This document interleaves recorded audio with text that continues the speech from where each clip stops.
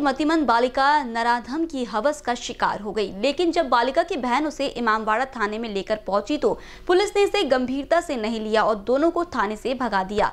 रविवार को दिन दहाड़े घटित इस घटना से कुछ समय के लिए तनाव का माहौल बना रहा। प्रकरण दर्ज कर आरोपी को गिरफ़्तार किया गया है। पीड़ित बालिका आठ वर्ष की और मतिमंद है। उसके माता पिता मजदूरी करते हैं। रविवार को माता पिता काम पर गए हुए थे। पीड़ित बालिका घर के सामने खेल रही थी। इसी दौरान पड़ोसी नींबू पानी विक्रेता सूरज उर्फ़ सुरेश लोखंडे नामक अधेड़ व्यक्ति ने खेलने के बहाने बालिका को घर में बुलाया और जैसे ही बालिका उसके घर में घुसी, आरोपी ने बालिका से दुष्कर्म किया। घटना के बाद पीड़ित बालिका अपनी बहन के साथ थाने पहुँची, लेकिन पुलिस ने उसे भगा दिया। पश्चात घर लौटी और बहन ने माँ को इस बारे में जानकारी दी। जानकारी मिलते ही माँ घर पहुँची और बालिका को थाने ले गई। बालिका की हालत देखकर पुलिस और परिजनों ने तत्काल उसे मेडिकल अस्पताल में भर्ती कराया।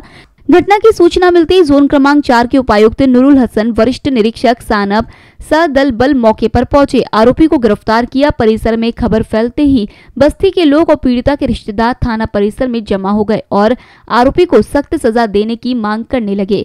आरोपी का पुत्र भी आपराधिक प्रवृत्ति का है। हत्या के प्रयास के आरोप में वह जेल में बंद है। उल्लेखनीय है की इसके एक दिन पहले पाँच क्षेत्र में भी सात वर्षीय बालिका पड़ोसी की ही हवस का शिकार हुई थी। जाँच जारी है।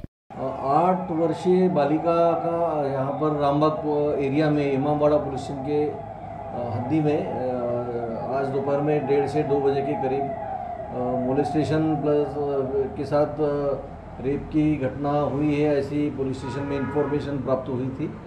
उसी के आधार पर, पुलिस स्टेशन के अधिकारियों ने तुरंत जाकर वहाँ पर कार्रवाई की और पीड़िता को उसके पेरेंट्स को साथ में लेके उसे मेडिकल कॉलेज में रेफ़र करके एडमिट किया है एग्जामिनेशन के लिए।